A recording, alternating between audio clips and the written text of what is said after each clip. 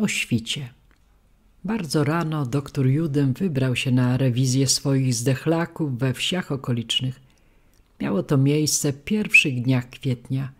Jeszcze łąki były mokre, role ciemne, na gościńcach kisły głębokie bajora. Powiększał je drobny, nieustanny deszczyk, siejący mgłę ruchomą, lecącą z głębi płynnych, wolnych westchnień wietrzyka.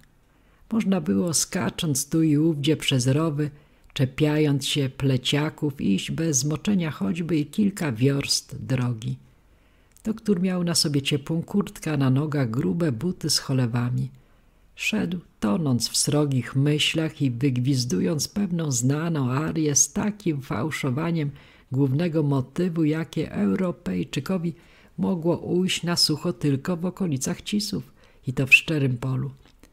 Droga ciągnęła się nad brzegiem lasu, po gruncie pagórkowatym i urwistym. To zapadała w wąwóz, to się na wzgórza, to znowu jak prosty szef odcinała pole rozesłane na placu wykarczowanym w lesie. W nizinach o gruncie bardzo wilgotnym leżały już jasne murawy, budzące wspomnienie przecudnego rumieńca życia na obliczu człowieka, który był w ciężkiej chorobie śmierci bliski.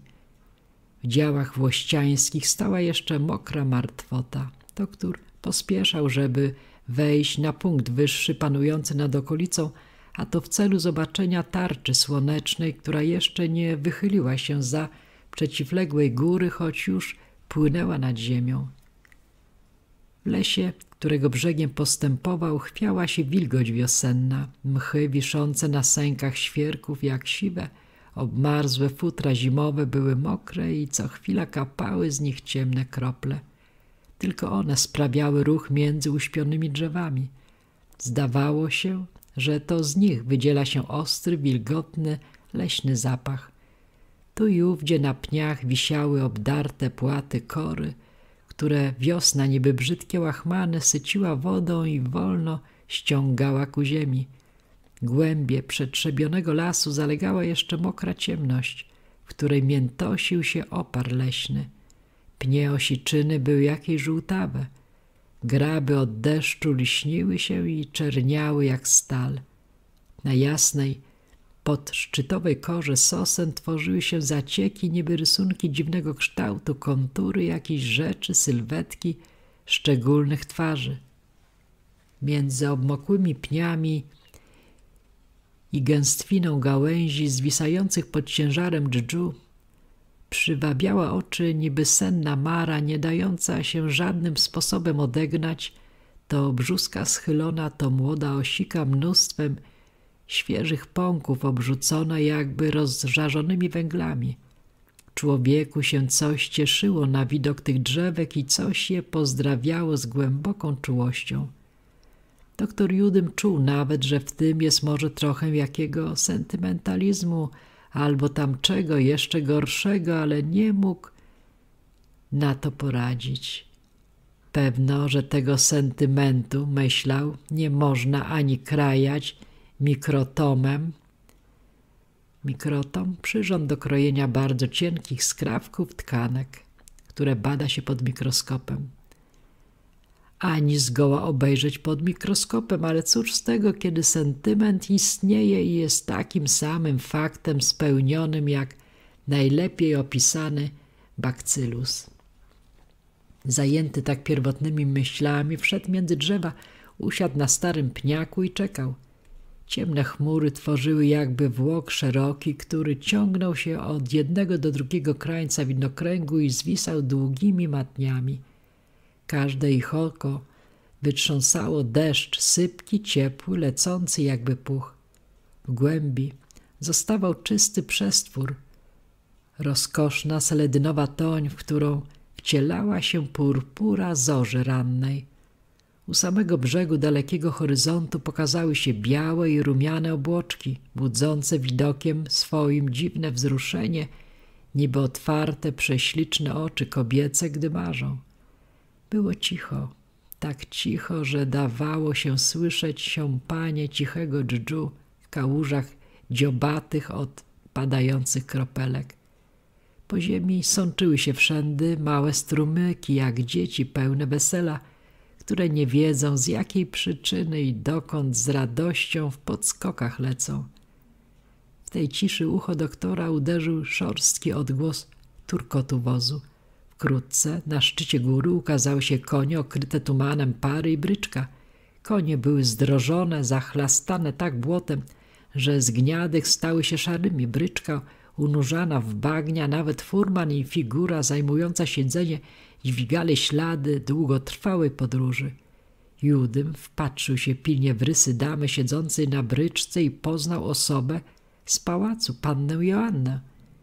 Miała na sobie francuski jasnozielony płaszczyk z kapiszonem. Ten kapiszon wciągnęła na głowę dla ochrony jej przed deszczem. Zdawała się drzemać. Doktor żywo zaciekawiony, skąd może wracać panna Podborska o tej godzinie i drogą nieprowadzącą w stronę świata, pół wiedząc w jakim celu to czyni, wstał ze swego pniaka i szedł brzegiem gościńca naprzeciwko Wolanta. Gdy był od niego w odległości kilku kroków, panna Joanna dźwignęła głowę i spostrzegła go. Na twarzy jej odmalował się wyraz pomięszania, a nawet jakby przestrachu. W pierwszej chwili pociągnęła kaptur na oczy, później odwróciła głowę. Doktor pozdrowił ją ukłonem i z pytającym uśmiechem na ustach stanął przy bryczce. Cóż to za eskapada, panno Joanno? Skąd pani wraca? Jak pan widzi, z podróży. Widzę, widzę nawet, że podróż musiała być daleka. Furman zatrzymał konie. Przez chwilę panna Joanna skubała w zakłopotaniu brzeg okrywki. Na jej niemożliwie, jak mówiono, prawdomównej twarzy malowało się usiłowanie zatajenia czegoś. Rumieniec rozpalał się na policzkach.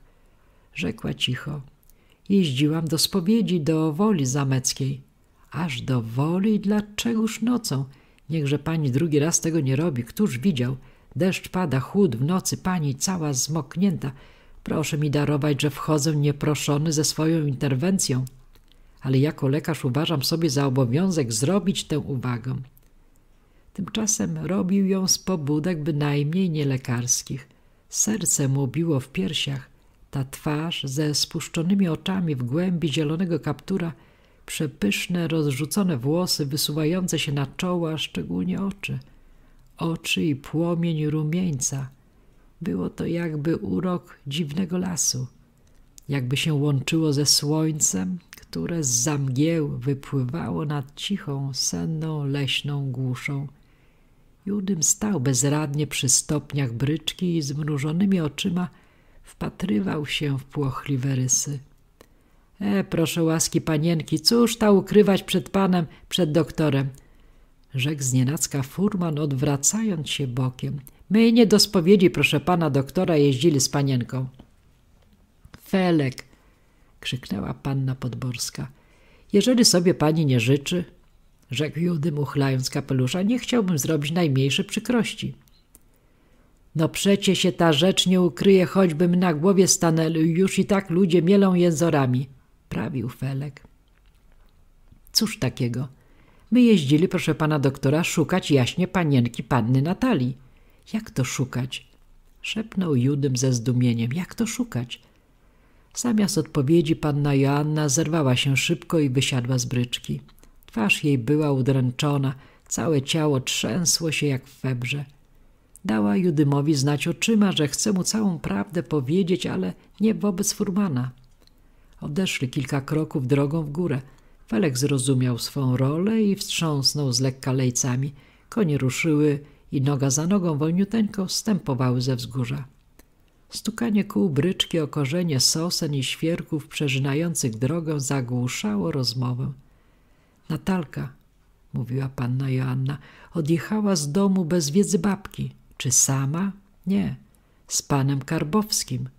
Z panem Karbowskim? Tak, z panem, z panem Karbowskim. Mówiła otulając się zarzutką, jakby ją przejmowało dręczące zimno. Biedna babunia tak strasznie nad tym cierpi. Poszła zaraz na grób pana Januarego i leżała w kaplicy krzywe, krzyżem. Nie wiedzieliśmy, nie wiedzieliśmy, gdzie jest. Taki popłoch. No a skądże wiadomo? Pan Worszewicz powziął skądś wiadomość jeszcze wczoraj, że Natalka odjechała do Woli Zameckiej. Nie mogę zrozumieć skąd to mógł wiedzieć. To taki bystry człowiek domyślił się, że wezmą ślub w tym właśnie kościele Woli. Jest tam ksiądz, jakiś podobno niesympatyczny i rzeczywiście zgodził się dać ślub. Widać na tej podstawie babunia wysłała mnie wczoraj na noc. Pojechałam niezwłocznie. Pędziliśmy co koń skoczy, ale wszystko na nic. Istotnie tam ślub wzięli. Gdym przyjechała, już było po wszystkim. Wyjechali. Kazali powiedzieć, gdyby się ktoś dopytywał, że jadą wprost za granicę. Proszę pani, to było... Może było do przewidzenia. Nie to właśnie, ale coś w tym rodzaju. Ach, panie doktorze, cóż za rola moja w tej sprawie. Rola pani? Byłam jej nauczycielką, mentorką, niby powiernicą. Ja domyślałam się, ja nawet wiedziałam o tej miłości. Nie cierpiałam tego pana i widać, dlatego sądziłam, że cały afekt minie.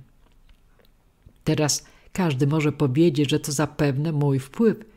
Każdy może to powiedzieć i niestety będzie nawet miał słuszność. Ja często rozmawiałam z Natalką o tym, że są w małżeństwie bez miłości rzeczy potworne, które mnie przejmują wzgardą, że nie powinna, że nie powinna nigdy w życiu. Któż mógł przewidzieć, że ona tak to zrozumie? Niech się pani uspokoi. Na pannę Natalię tego rodzaju dyskusje małe, małe wywarły wrażenie. To była natura samodzielna, śmiała, bezwzględna. O tak, bezwzględna. W liście do babki, który wiozę, zaznaczyła wyraźnie, że majątek swój złożony w banku, majątek swój osobisty, odziedziczony po matce, podniesie w całości, gdyż jako pełnoletnia ma do tego prawo. Tak napisała do tej babuni. Jako pełnoletnia. Czy to duży majątek? Podobno bardzo znaczny. Będzie miał pan Karbowski przez czas pewien co puszczać. Panna Joanna stanęła, jakby sobie coś przypomniała, rzuciła na Judyma oczami pełnymi blasku jakby chytrości.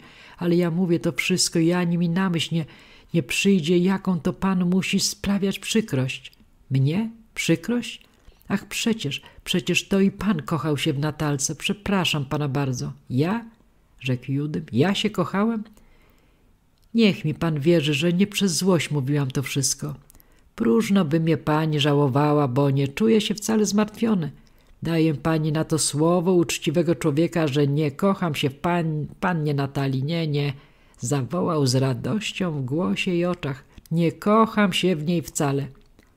To przeczące wyznanie było niby ostatni dźwięk rozmowy. Do dna ją wyczerpało.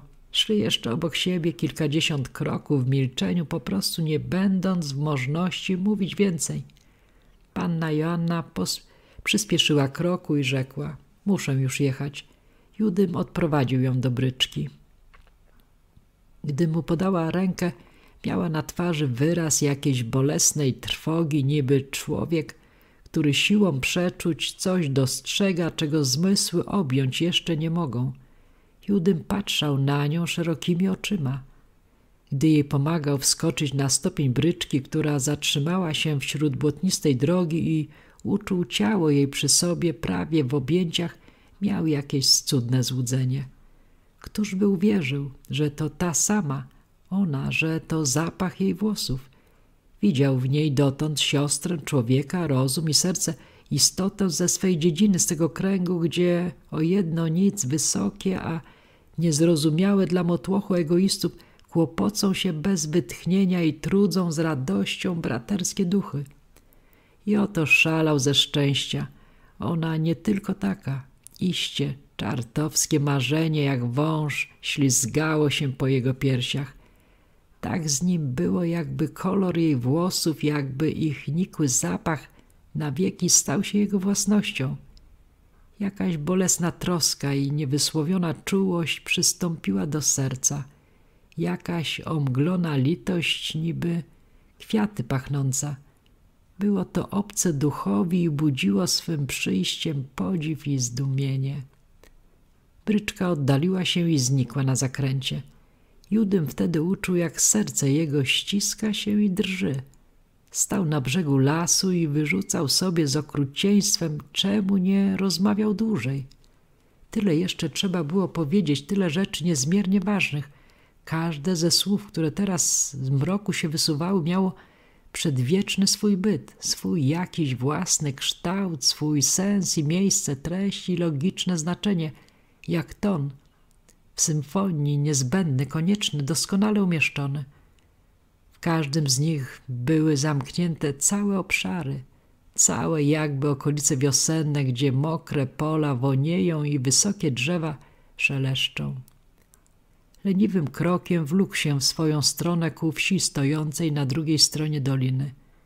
Gdy był u szczytu wzgórza, słońce wydzierało się z chmur nad odległymi lasami. Dusza Judyma szła ku temu światłu jak olbrzym, którego barki dosięgają nieba. Zatrzymał się na dawnym miejscu i wśród błotnistej drogi ujrzał ślady małych trzewików panny Joasi. Wzrok jego padał na te foremne wyżłobienia w piasku i w zachwycającej wizji oglądał stopy, które tych miejsc dotknęły. Widział ciało wysmukłe, subtelnie piękne, budzące nieopisaną rozkosz, które się nad nim, nad nimi przemknęło. Zamknąwszy oczy, patrzał w głębinę swej duszy. W tej chwili schyliła się ku niemu cicha wiedza, wesoły szept męczącej zagadki – rozstrzygnięcie trudnego pytania, proste jak czysta prawda. Powitał je radosnym śmiechem. Ależ tak, rozumie się, przecie to jest moja żona.